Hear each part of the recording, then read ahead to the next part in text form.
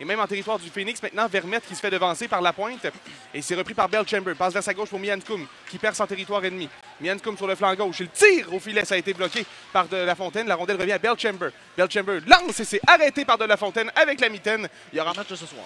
Les enjeux qui a été remporté par le Phoenix. Voici Rondeau, passe devant pour Belchamber. Belchamber perce en territoire ennemi. Il passe vers l'enclave pour Gendron. Gendron réussit à tirer au filet et c'est bloqué par De La Fontaine. La rondelle qui revient dans son demi-cercle et c'est Tremblay. Mathieu qui va reprendre à la ligne Zags.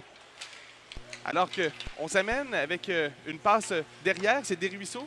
Desruisseaux descend vers les cercles, il remet à sa droite et un tir maintenant qui est arrêté par Brochu. Ça venait du bâton de Leroux pour Dubois. Dubois s'amène en territoire ennemi. Dubois qui tente de passer dans l'enclave. Ça n'a pas fonctionné. Rondelle derrière pour Primo maintenant. Primo qui joue contre Morin. Mise en échec est effectuée derrière le filet. C'est une passe et un tir. Bel arrêt du gardien de la Fontaine. La rondelle qui revient à trembler. La rondelle va jusqu'au bâton de Miancoum. Miancoum accueilli. Attention, 2 contre 1. On s'amène avec Gendron et Doucet. Dou Gendron s'amène, passe pour Doucet. Et quel repli défensif. Bordeaux qui tire. Ça a été arrêté. Et retourne le but! Doucet qui marque. C'est 1-0 le Phoenix. Tommy, tout ça part d'une mauvaise lecture euh, du défenseur des Saguenayens. C'était Jonathan Prudhomme.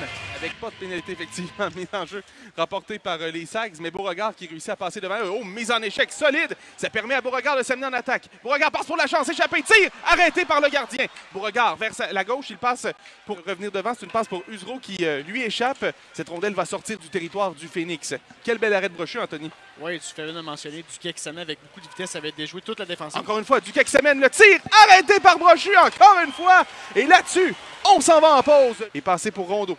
Rondeau passe par l'enclave avec quelques détours. Il traverse la ligne bleue maintenant et passe pour Primo qui décampe. Primo la feinte, le tir et le but! Quel bon but en échappé! Primo qui fait 2-0.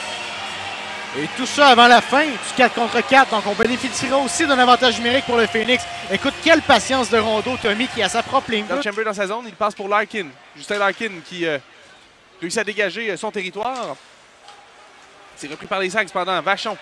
Vachon qui se fait harponner et qui va tenter de saisir le disque. Oh, mise en échec de Mianscum sur Vachon. Une mise en échec solide et Vachon prend du temps à se relever. Mianscum qui euh, est harponné par deux joueurs. La rondelle revient derrière pour Boisvert.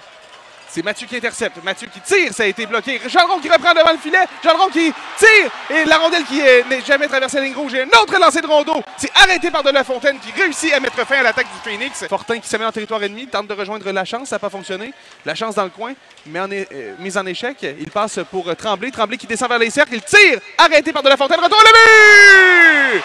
C'est Beauregard qui marque le troisième du Phoenix. Et c'est 3-0. Un beau regard, son deuxième but en deux matchs. Et encore une fois, ça part d'un d'un bel élan offensif, Tommy, de Louis-Alex Tremblay.